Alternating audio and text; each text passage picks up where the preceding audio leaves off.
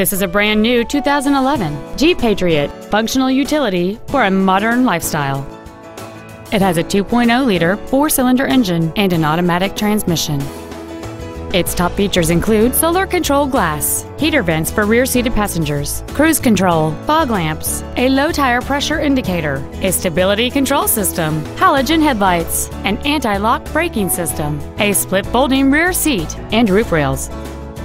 This automobile won't last long at this price. Call and arrange a test drive now.